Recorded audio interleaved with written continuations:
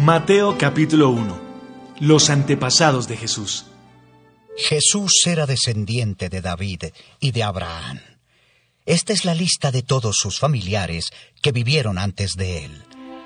Desde Abraham hasta David fueron Abraham, Isaac, Jacob, Judá y sus hermanos, Fares y Sera.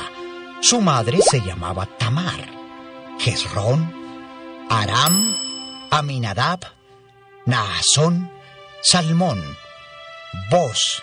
Su madre se llamaba Raab. Obed, su madre se llamaba Ruth. Isaí, el rey David. Desde David hasta el tiempo en que los judíos fueron llevados como prisioneros a Babilonia, sus antepasados fueron David, Salomón, su madre había sido esposa de Urías, Roboam, Abías, Asa, Josafat, Joram, Osías, Jotam, Acaz, Ezequías, Manasés, Amón, Josías, Joaquín y sus hermanos.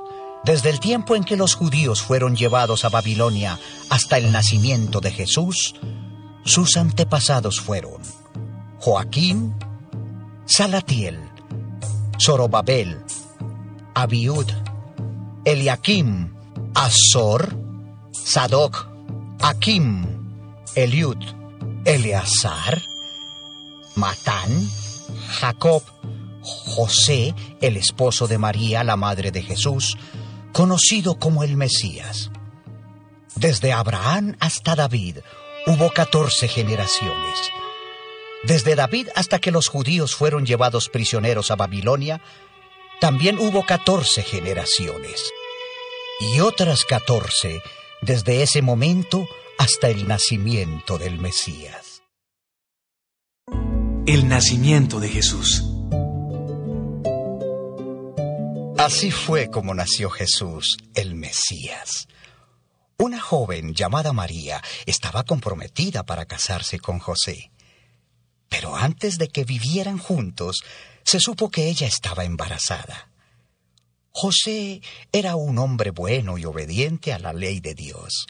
Como no quería acusar a María delante de todo el pueblo, decidió romper en secreto el compromiso.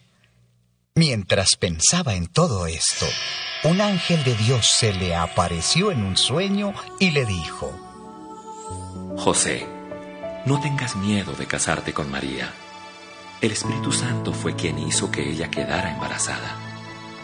Cuando nazca el niño, lo llamarás Jesús. Él va a salvar a su pueblo del castigo que merece por sus pecados. Cuando José despertó, obedeció al ángel de Dios y se casó con María. Pero no durmieron juntos como esposos antes de que naciera el niño.